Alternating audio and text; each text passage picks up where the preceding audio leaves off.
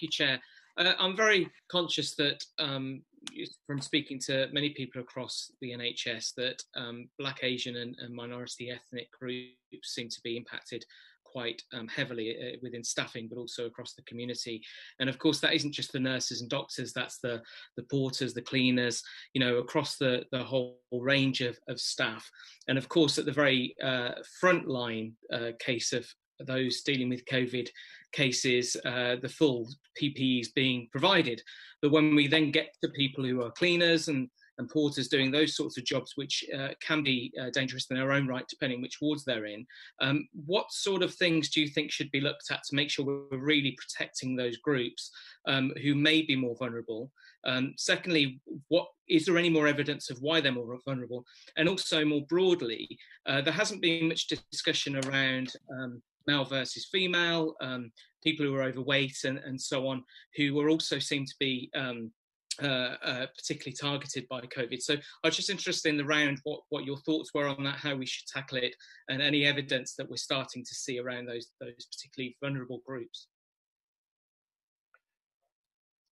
Oh, sorry, and I'll, I'll, I'll sorry, and I'll, I'll uh, uh, ask Richard Murray on that, please. Sorry. Thank you, Dean. so, um, uh, if I could take them in reverse order, why why are BAME staff and um, uh, citizens more vulnerable. Uh, I wish there was an easy scientific answer that you could then base action on. We certainly know that they are. I think there's a there's a there's an ongoing uh, debate about it, is it just a collection of risk factors, instance of things like diabetes? Uh, is it does it relate to um, living sometimes at least in bigger households?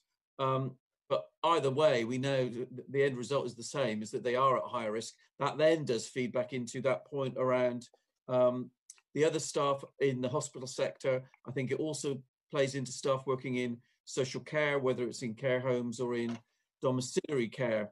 Um, it really does, unfortunately, ratchet up the requirement on PPE and on testing to make sure that if we are testing all the use the phrase clinical staff, the, the, the, the staff, nurses, doctors, that we are also treating uh, porters, cleaners, you can't run a hospital without them, um, uh, in exactly the same way as they move in and around the wards and in and around care homes and in and around people's homes, providing social care as well.